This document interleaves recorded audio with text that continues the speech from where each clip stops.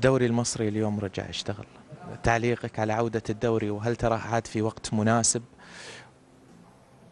يعني هو طبعا أنا أعتقد إنه هو وقت مناسب جدا وخاصة بعد الحكم المحكمة. أتمنى إن يبقى فيه استمرارية أتمنى إن الأحداث تبقى مستقرة في مصر.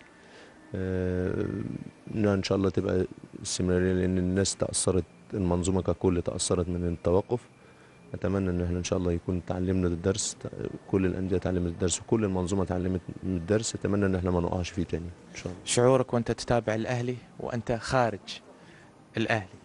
لا طبعا أنا ارتباطي بالأهلي يعني لاعب. آه آه طبعا مرتبط جدا. أنا مش هضحك عليك أنا مرتبط بال- بالنادي وبنتائج النادي وبكل فرد في النادي. آه، لأن كان له فضل كبير عليا سواء النادي الأهلي وجمهور النادي الأهلي وربنا سبحانه وتعالى بعد وطبعا الواحد ما بينساش طبعا فضل الأندية اللي هو عاش من خلالها أو تربى من خلالها سواء الترسانة سواء النادي الأهلي. أتمنى إن إحنا إن شاء الله التجارب اللي إحنا خدناها في الناديين تحقق النجاح ده في بني ياس إن شاء الله.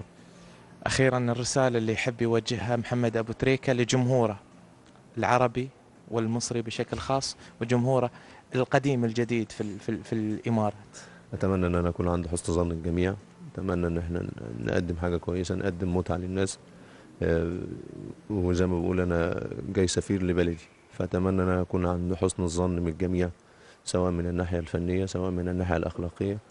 أتمنى أن إحنا إن شاء الله نكون عند حسن ظن الناس والناس تدعي لنا إن شاء الله إن ربنا سبحانه وتعالى يوفقنا إن شاء الله. برضو حتلبس 22 لا أنا هلبس 72 إن شاء الله. إيش معنى ده عدد آه، الشهداء النادي الاهلي مبادرة جميلة من لاعب مبادراته دائما مع ما, ما تنال الاستحسان والإعجاب. لا ربنا يخليك. رسميا 72 إن شاء الله. بس المفروض النادي اللي يعلن مش اللعيب اللي يعلن. طيب لا في حاجات ثانية النادي اتفقوا معنا إن ما نعلنهاش ومنها ال- العقد وال والمقابل المادي. ونحن احتراما للنادي واحتراما لشخصك. راح نترك المؤتمر الصحفي يوم غد. شكرا جزيلا محمد. يخليك. متشكرين. شكرا. للمساعدة شكرا. شكرا.